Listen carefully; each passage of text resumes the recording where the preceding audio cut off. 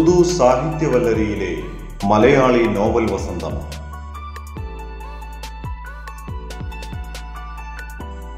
ഉറുദു സാഹിത്യത്തിന്റെ ഔന്നിത്യങ്ങളിൽ ഒരു മലയാളി സ്ത്രീ സാന്നിധ്യമുണ്ട്.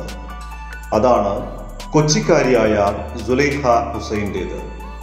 ആയിരത്തി തൊള്ളായിരത്തി മുപ്പതിൽ മട്ടാഞ്ചേരിയിലെ കച്ച് മേമൻ തറവാട്ടിൽ ജനിച്ച സുലൈഖയുടെ മാതാപിതാക്കൾ ഹാജി അഹമ്മദ് സേഠ് മറിയം ബായി എന്നിവരായിരുന്നു. വളരെ ചെറുപ്രായത്തിൽ തന്നെ മാതാപിതാക്കൾ നഷ്ടപ്പെട്ട സുലൈഹയെ വളർത്തിയതും പഠിപ്പിച്ചതും മാതാമഹനായ ജാനി സേഠ് സാഹിബായിരുന്നു. നാലാം തരം വരെ മാത്രമേ കൊച്ചു സുലൈഹക്ക് മദ്രസ പഠനം നടത്താനായുള്ളൂ. മട്ടാഞ്ചേരി ആസിയാബായി മദ്രസയിൽ നിന്ന് ഖുർആാനും ഹദീസും ദീനിയാത്തും മലയാളം ഉറുദു അറബി ഭാഷകളും പഠിച്ചു. ശേഷമുള്ള വിദ്യാഭ്യാസം വീട്ടിൽ വെച്ചായിരുന്നു. അക്കാലത്ത് ഹൈദരാബാദിൽ നിന്ന് കൊച്ചിയിലേക്ക് കുടിയേറിയ മൗലവി റിസ്വാനുള്ള സാഹിബിൽ നിന്നാണ് സുലൈഹ ഉറുദു ഭാഷയുടെ മാധുര്യം നുകർന്നത്. ഉറുദു ഭാഷയിലും സാഹിത്യത്തിലും അഗാധമായ പ്രാഗൽഭ്യമുണ്ടായിരുന്ന റിസ്വാനുള്ള സാഹിബിന്റെ ശിക്ഷണം സുലൈഖയിൽ ഉറുദു ഭാഷയോടുള്ള അടുപ്പം വർദ്ധിപ്പിച്ചു. ഷൗഖ് എന്ന തൂലികാ നാമത്തിൽ ഉറുദു കവിതകൾ എഴുതിയിരുന്ന തന്റെ മാതാമഹൻ ജാനി സേഠിന്റെ ശ്രമങ്ങളാണ് സുലൈഖ ഹുസൈനിൽ സാഹിത്യ താല്പര്യം ജനിപ്പിച്ചത്.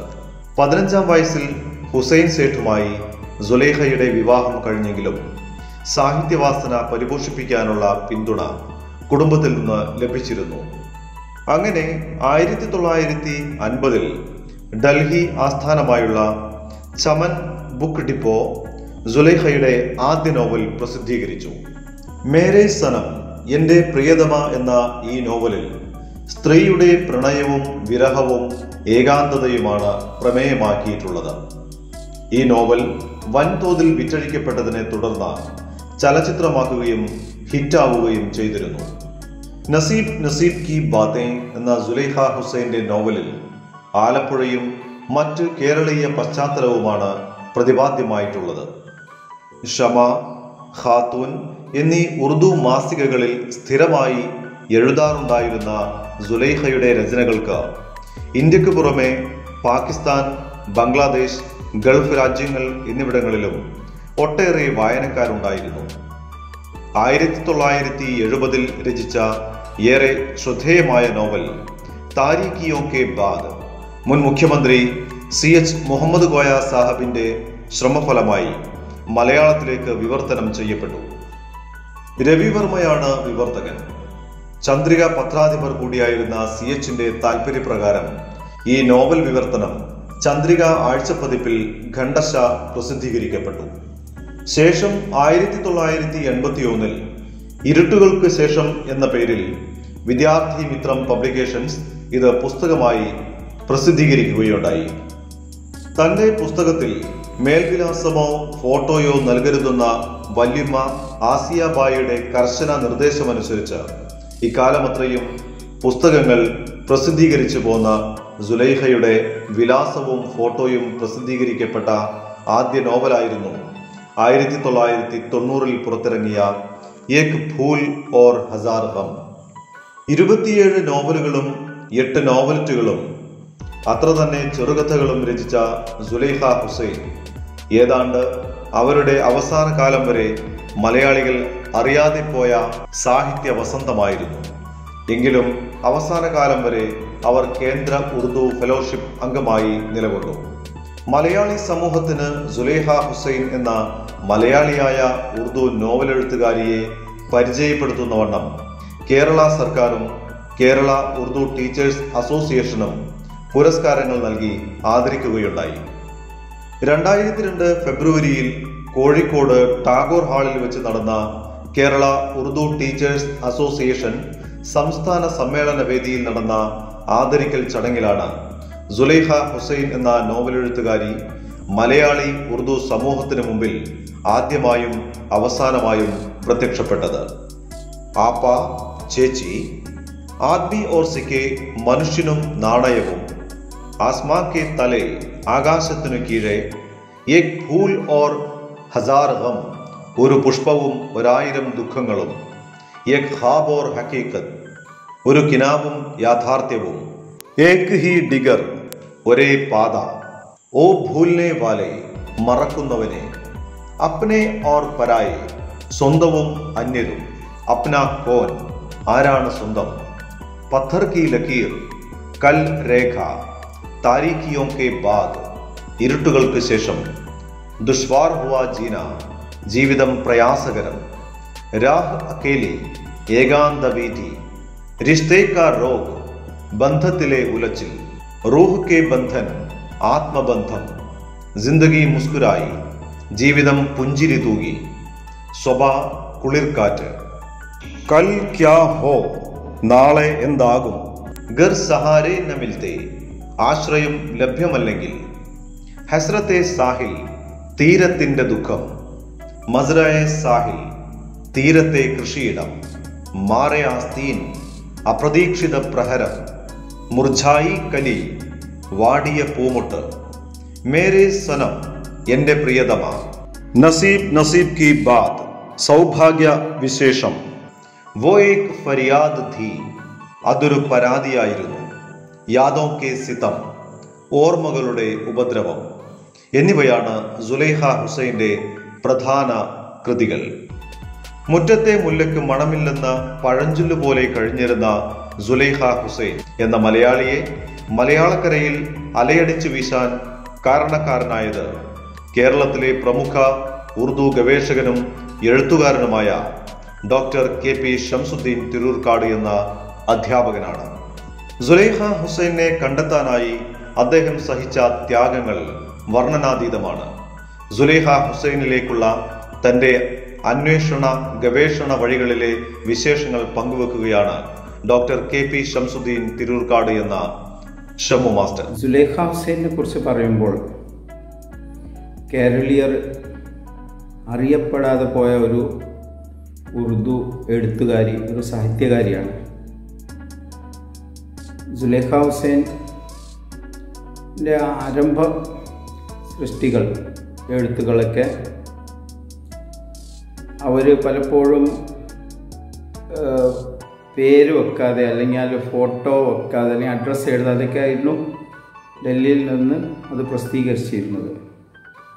അത് അന്നത്തെ ഒരു സാമൂഹിക ചുറ്റുപാടും ചില കാര്യങ്ങളാൽ ആയിരുന്നു. അത്തരത്തിൽ അറിയപ്പെട്ടിട്ടില്ലെങ്കിലും ഉറുദു ലോകത്ത് അറിയപ്പെട്ടിരുന്നു. കേരളത്തിലാണ് അറിയപ്പെടാതെ പോയത്. കൊച്ചി പ്രദേശങ്ങളിൽ മാത്രമായിരുന്നു ലേഖ ഹൗസിനെ കുറച്ചൊക്കെ അറിഞ്ഞിരുന്നത്. അവിടുത്തെ ചില സുവനീറിൽ സുവനീറുകളിലൊക്കെ ആ കാലഘട്ടത്തിൽ അവരുടെ കുറിച്ച് അവരെക്കുറിച്ചും അവരുടെ സൃഷ്ടിയൊക്കെ പ്രസിദ്ധീകരിച്ചിട്ടുണ്ട്.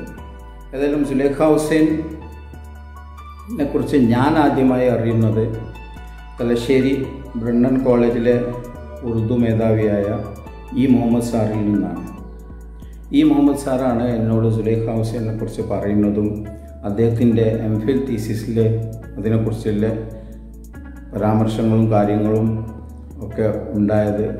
അതുമായി ബന്ധപ്പെട്ടാണ് പിന്നെ എനിക്ക് ഇ മുഹമ്മദ് സാറുമായിട്ട് കൂടുതൽ ബന്ധപ്പെടാനും ഈ കാര്യങ്ങൾ ചോദിച്ചറിയാനും മനസ്സിലാക്കാൻ സാധിച്ചത് തലശ്ശേരി ബ്രണ്ടൻ കോളേജിലെ മുൻ ഉറുദു മേധാവി ഇ മുഹമ്മദ് സാർ. അപ്പോൾ ഈ മുഹമ്മദ് സാറ് എം ഫിൽ തീസിസിൽ ഇവരെക്കുറിച്ച് ആദ്യമായിട്ട് വരുന്നത്. അദ്ദേഹം എനിക്ക് എനിക്ക് അവരുടെ അഡ്രസ്സും മേൽവിലാസവും കാര്യങ്ങളൊക്കെ പറഞ്ഞു തന്ന്. ആ കാലത്ത് ഇങ്ങനെ ഈ കാലത്തെ പോലെ മൊബൈലൊന്നും ഇല്ലല്ലോ.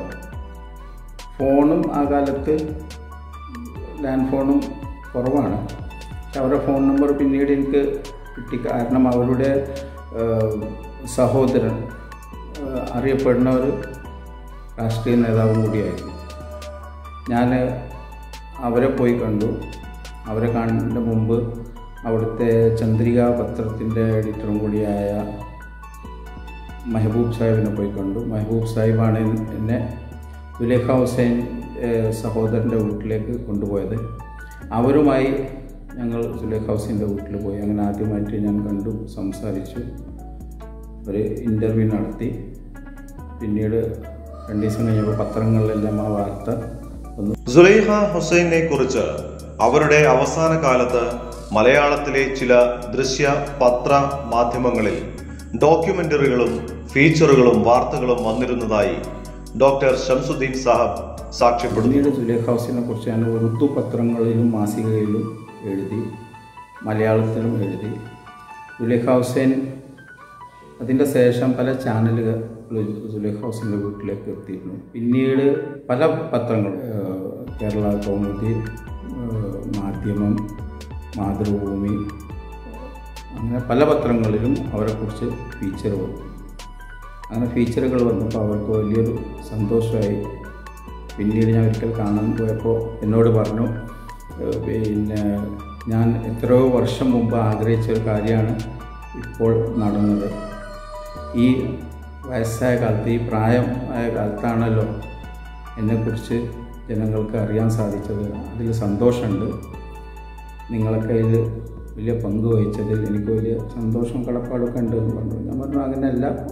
ഉറുദു സാഹിത്യ ലോകത്ത് കേരളത്തിൽ നിങ്ങൾ അഭിപ്രായം എഴുതും.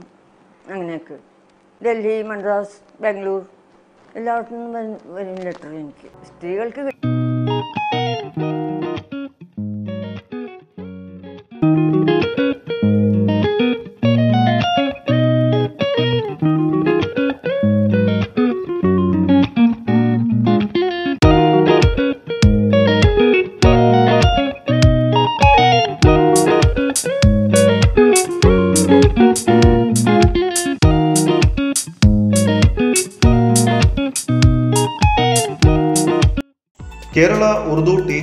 അസോസിയേഷൻ സംസ്ഥാന സമ്മേളനത്തിൽ സുലൈഹ ഹുസൈനെ കൊണ്ടുവന്ന് ആദരിച്ചതിനെ കുറിച്ച് കെ യു ടി എ സംസ്ഥാന പ്രസിഡന്റ് കൂടിയായ ഡോക്ടർ ഷംസുദ്ദീൻ സാഹിബിന്റെ വാക്കുകൾ. അങ്ങനെ പിന്നീട് രണ്ടും മൂന്നും തവണ അവരെ കാണാൻ സാധിച്ചു. പിന്നെ കേരള ഉറുദു ടീച്ചർ അസോസിയേഷന്റെ കോഴിക്കോട് നടന്ന സംസ്ഥാന സമ്മേളനത്തിൽ അവരെ മുഖ്യാതിഥിയായി കൊണ്ടുവരികയും അവരെ കൊണ്ട് പ്രസംഗിപ്പിക്കുകയും അവർക്ക് കെ യു ടി എ ഉപഹാരം നൽകുകയും ചെയ്തു.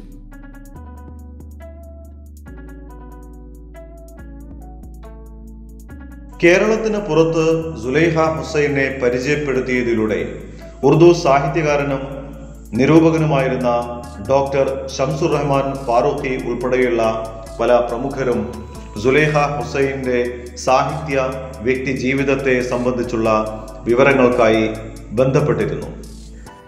അങ്ങനെ സുലേഖ ഹുസൈനെ കുറിച്ച് കൂടുതൽ കൂടുതൽ ജനങ്ങൾ അറിയട്ടെ എന്ന് നിലയ്ക്ക് പ്രത്യേകിച്ച് ഈ കാലഘട്ടത്തിൽ കൂടുതൽ ജനങ്ങൾ അറിയട്ടെ ഉറുദു സാഹിത്യ ലോകത്ത് അറിയട്ടെ എന്നുള്ള ഒരു ചിന്തയിലൂടെയാണ് ഞാൻ ഉറുദു പത്രങ്ങളിലും മാസികകളിലും പിന്നെ ത്രൈമാസികകളിലൊക്കെ സുലേഖ ഹുസൈനെ കുറിച്ച് ഞാൻ എഴുതിയിട്ടുണ്ട്. പലരോടും ഞാൻ സുലേഖ ഹുസൈനെ കുറിച്ച് പറഞ്ഞിട്ട് അവർ നേരിട്ട് സുലേഖ ഹുസൈന്റെ കത്തയച്ച് സുലേഖ ഹുസൈൻ അതുമായി ബന്ധപ്പെട്ടുള്ള കാര്യങ്ങളൊക്കെ എന്നോട് പറഞ്ഞിട്ടുണ്ട്. അവസാനമായി ഷംസുർ റഹ്മാൻ ഫാറൂഖി അറിയപ്പെടുന്ന ഉറുദു ലോകത്തെ ഏറ്റവും വലിയ സാഹിത്യകാരനിടെ മരണപ്പെട്ടു. ഷംസുർ റഹ്മാൻ ഫാറൂഖി അവർക്ക് കത്തെഴുതി അവർ ആ കത്ത് എനിക്ക് അയച്ചെന്ന് കത്തിന് മറുപടിയൊക്കെ ഞാനാണ് ഷംസുർ റഹ്മാൻ ഫാറൂഖി സാഹിബിന് അയച്ചു കൊടുത്തത്. അവർക്ക് എഴുതാൻ കഴിയാത്തയും പിന്നെ ആരോഗ്യത്തിന്റെ കാര്യങ്ങളൊക്കെ സൂചിപ്പിച്ചു സുലൈഹ ഹുസൈന്റെ കൃതികളുടെ കോപ്പികൾ ശേഖരിക്കാനായി നടത്തിയ ശ്രമങ്ങളെക്കുറിച്ചും അതിൽ താൻ വിജയം വരിച്ചെന്നും ഡോക്ടർ ഷംസുദ്ദീൻ സാഹബ് കൂട്ടിച്ചേർക്കുന്നു. കൂടാതെ അവരുടെ രചനകൾ സംരക്ഷിക്കാനും പുതുതലമുറയ്ക്ക് ലഭ്യമാക്കാനുമുള്ള നിർദ്ദേശങ്ങളും പങ്കുവെക്കുന്നു. ഇപ്പോൾ സുലേഖ ഹൗസിന്റെ ആ കാലഘട്ടത്തിൽ നമ്മൾ ഇപ്പോൾ ഈ മൊബൈലും നെറ്റും കാര്യങ്ങളൊന്നും അങ്ങനെ ഇല്ലാത്തൊരു കാലഘട്ടത്തിൽ പലപ്പോഴും അവിടെ പോയി കാണുകയും അവർ പറഞ്ഞു തരുന്ന ചില അഡ്ര അഡ്രസ്സുകളിൽ പോയി ചില കാര്യങ്ങൾ അന്വേഷിക്കുകയും അവരുടെ പുസ്തകങ്ങളിലെ അഫ്സാനകൾ ചെറുകഥകൾ നോവലുകളും അവർക്ക് തന്നെ മുഴുവനില്ല ഉള്ളത് രണ്ട് മൂന്നെണ്ണമൊക്കെ എനിക്ക് തന്നു. പിന്നെ പ്രസിദ്ധീകരിച്ച സ്ഥലങ്ങൾ പറഞ്ഞു പിന്നെ കൊച്ചി ലൈബ്രറിയിൽ ബുക്കുണ്ട് എന്ന് പറഞ്ഞ് ഞാൻ അവിടെ പോയി. അങ്ങനെ പല സ്ഥലങ്ങളിൽ നടന്ന അവസാനം ഡൽഹിയിൽ വരെ ഞാൻ ജുലൈ ഹൗസിന്റെ നോവൽ കളക്ട് ചെയ്യാൻ പോയിട്ടുണ്ട്. അവിടെ എനിക്ക് വിജയം ലഭിച്ചിട്ടുണ്ട്. ജുലൈ ഹൗസിന്റെ ഏകദേശം എല്ലാ നോവലും അവിടെ എനിക്ക് കിട്ടിയിട്ടുണ്ട്. കുറച്ച് നോവലുകൾ ബോംബെ പോയി കളക്ട് ചെയ്തു. ബോംബെ പഴയ പുസ്തകങ്ങൾ കിട്ടുന്ന സ്ഥലമുണ്ട്. അവിടുന്ന് നാല് നോവലുകൾ ജുലൈ ഹൗസിന്റെ ലഭിച്ചു. ഇപ്പോൾ നമുക്ക് വേണ്ടത് ശരിക്ക് സുലേഖ ഹുസൈന്റെ എല്ലാ നോവലുകളും വിവർത്തനം ചെയ്യുന്നതിനും അപ്പുറം ആദ്യം ഉറുദു തന്നെ നമ്മൾ പ്രസിദ്ധീകരിക്കുകയാണ് വേണ്ടത്. സുലേഖ ഹുസൈന്റെ നോവലുകൾ ഇപ്പോൾ കിട്ടാനില്ല. അപ്പോൾ കേരളീയർ ചെയ്യേണ്ട ഒരു കാര്യം കൂടി ഞാൻ ഈ വേളയിൽ പറയാണ്. സുലേഖ ഹുസൈന്റെ നോവലുകൾ നമ്മൾ മൊത്തം നമ്മൾ കേരളക്കാർ പ്രസിദ്ധീകരിക്കേണ്ടത് ഉണ്ട്. ഏതായാലും സുലേഖ ഹുസൈനെ കൂടുതൽ കൂടുതൽ പുതുതലമുറ പരിചയപ്പെടേണ്ടതുണ്ട്. ഇങ്ങനെ ഒരു വീഡിയോ സുലേഖ ഹൗസിനെ കുറിച്ച് തയ്യാറാക്കുന്നുണ്ടെന്ന് അറിഞ്ഞതിൽ വളരെയേറെ സന്തോഷമുണ്ട്. ഇതിന്റെ പിന്നിൽ പ്രവർത്തിച്ച എല്ലാവർക്കും ഞാൻ ഹൃദയത്തിന്റെ അടിത്തട്ടിൽ നിന്ന് നന്ദിയും കടപ്പാടും അറിയിക്കുന്നു. വളരെ വലിയൊരു ദൗത്യമാണ് ചെയ്യേണ്ടത്. ഈ ലോകത്ത് ഇപ്പോൾ നടക്കുന്ന ഒരു സംസ്കാരമുണ്ടല്ലോ. കഴിഞ്ഞ പോയ കാലത്ത് ആരൊക്കെ എന്തൊക്കെ ചെയ്തു അതൊന്നും ആർക്കും അറിയാൻ താല്പര്യമില്ല പറഞ്ഞു കൊടുക്കാനും ആരുമില്ല അപ്പം അങ്ങനെയൊക്കെ ഉള്ള ഒരു സമയത്ത് ഇങ്ങനെയുള്ളൊരു വീഡിയോ ഒക്കെ ഉണ്ടാക്കി കേരളത്തിലെ ഉറുദു ഭാഷയെക്കുറിച്ചും കേരളത്തിലേക്ക് ഉറുദു എഴുത്തുകാരിയെക്കുറിച്ചൊക്കെ പ്രചരിപ്പിക്കുന്നതും അറിയാൻ ഒരു മാതൃകയായ വീഡിയോ ഉണ്ടാക്കുന്നതിലൊക്കെ വളരെ നന്ദിയും കടപ്പാടുമുണ്ട്. സുലൈഹ ഹുസൈന്റെ ജീവിതകാലത്ത് തന്നെ അവരുടെ നോവലെഴുത്തുമായി ബന്ധപ്പെട്ട അക്കാദമിക ചർച്ചകൾ സർവകലാശാലകൾ തോറും നടന്നിരുന്നു. അതിന്റെ ഭാഗമായി സുലൈഹ ഹുസൈൻ എന്ന നോവലെഴുത്തുകാരി സുലൈഹ ഹുസൈൻ ബഹാസിയത് നോവൽ നിഗാർ എന്ന ഗവേഷണ പ്രബന്ധത്തിലൂടെ മലപ്പുറം ഗവൺമെന്റ് കോളേജ് ഉറുദു പഠന വിഭാഗം മേധാവി K P Shakeela P H D ബിരുദം നേടിയിട്ടുണ്ട്.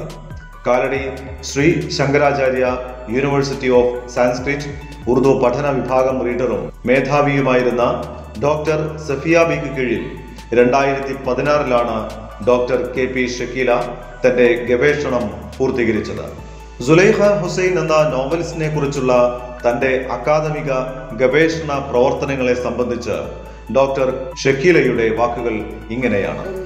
ഗവേഷണം നടത്തണം എന്നുള്ളൊരു ചിന്ത എന്നിൽ വന്നപ്പോൾ അതിൽ ഒരു മേഖല കണ്ടെത്താണ് ആദ്യം ചെയ്തത്.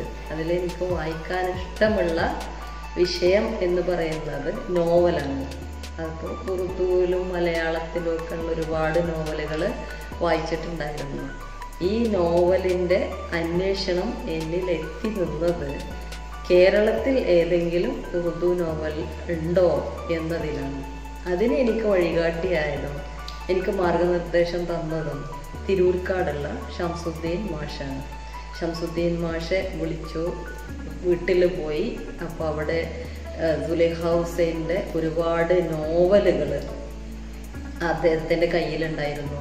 അതുപോലെ പലപ്പോഴായി പല പ്രസിദ്ധീകരണങ്ങളിൽ പ്രസിദ്ധീകരിച്ചു വന്ന ലേഖനങ്ങൾ അതൊക്കെ വായിച്ചു അതിന്റെ കോപ്പികൾ എടുത്തു അതിനുശേഷമാണ് സുലൈഖ ഹുസൈൻ എന്ന കഥാകാരിയെ അല്ലെങ്കിൽ നോവൽ എഴുത്തുകാരിയെ ഞാൻ നേരിൽ കാണാൻ പോകുന്നത്. അതിൽ പല പ്രാവശ്യം പോയപ്പോഴും എനിക്ക് ആദ്യം കണ്ട ആദ്യം അവരുമായി പരിചയപ്പെട്ട ആ ഒരു രംഗം ഇപ്പോഴും എന്റെ മനസ്സിലുണ്ട്. കാരണം അവരുമായി വിളിച്ച് അന്വേഷിച്ച് പോയപ്പോൾ റെയിൽവേ ഗേറ്റിന് അടുത്ത് അവർ എന്നെ ക്ഷണിക്കാൻ വേണ്ടി വന്നു നിന്നിരുന്നു. എന്നിട്ട് അവരെ കൂടെ ഒരു മടിയും കൂടാതെ നല്ല സൗഹൃദ ബന്ധത്തിൽ ആദ്യമായി കാണുന്ന ഞങ്ങളെ സംസാരിച്ചു കൊണ്ടങ്ങനെ മുന്നോട്ട് പോവുകയാണ് ചെയ്തത്. അപ്പോൾ ആ ഒരു തരത്തിൽ അവരുടെ വീട്ടിലെത്തിയപ്പോഴും ആ ഒരു വീട്ടന്തരീക്ഷം എന്നെ വല്ലാതെ സ്വാധീനിച്ചു. കാരണം നമ്മൾ മുൻപരിചയമില്ല.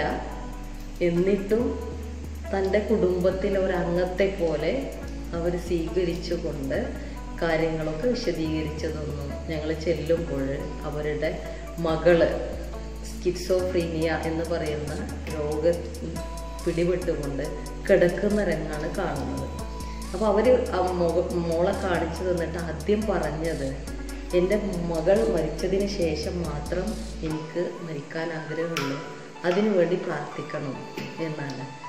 അപ്പോൾ അവരുടെ ജീവിതത്തിൽ അവർ നേരിട്ട അവരുടെ ജീവിതത്തിൽ അവർ അനുഭവിച്ച യഥാർത്ഥ കഥകൾ തന്നെയാണ് അവരുടെ നോവലുകളിൽ നമ്മൾക്ക് കാണാൻ പറ്റുന്നത്. ആദ്യമായി അവരെ നോവൽ പ്രസിദ്ധീകരിച്ചത് മേരെ സനം എന്ന് പറയുന്ന കൃതിയാണ്. അത് പിന്നീട് സിനിമ ആക്കപ്പെട്ടിട്ടുണ്ട്. ഇത് സിനിമയിൽ ഇന്നും നമ്മൾക്ക് മേരെ സനം എന്നുള്ളത് കാണാൻ പറ്റും. അത് സുലൈഹ ഹുസൈന്റെ പേരിലല്ല മറ്റൊരു പേരിലാണ് അത് സിനിമ ആക്കപ്പെട്ടത്. എന്നാലും അവരുടെ ഒമ്പത് കൃതികൾ ഒമ്പത് നോവലുകളാണ് എന്റെ ഗവേഷണ പ്രബന്ധത്തിൽ ഞാൻ വിവരിക്കപ്പെട്ടിട്ടുള്ളത് അല്ലെങ്കിൽ ചർച്ച ചെയ്യപ്പെട്ടിട്ടുള്ളത്. ആ ചർച്ചയിൽ എനിക്ക് കണ്ടെത്തിയത് അവരുടെ ജീവിതവും നോവലുകളും അഭേദ്യമായി ബന്ധപ്പെട്ട് കിടക്കുന്നുണ്ട്. ആ യാത്ര എന്നിൽ എത്തിച്ചത് അവരുടെ കുടുംബ പശ്ചാത്തലവും നോവലുകളും ഏതൊക്കെ മേഖലയിലാണ് ബന്ധപ്പെട്ട് കിടക്കുന്നതെന്നാണ്. അപ്പോൾ അവർ രചിച്ച നോവലുകളെല്ലാം കുടുംബ പശ്ചാത്തലത്തിൽപ്പെട്ടതാണ് എല്ലാം കുടുംബ പശ്ചാത്തലങ്ങളാണ്. ഒരു കുടുംബത്തിൽ ഉണ്ടാവുന്ന സ്വാഭാവികതകൾ അവർ വളരെ രസകരമായും ലളിതമായും വിവരിക്കപ്പെട്ടിട്ടുണ്ട്. അതായത് കുടുംബം ജീവിതത്തിൽ പ്രാധാന്യം കൊടുക്കേണ്ടത് സ്ത്രീകൾക്കാണ്. പ്രത്യേകിച്ചും വിദ്യാഭ്യാസ മേഖലയിൽ വിദ്യാഭ്യാസം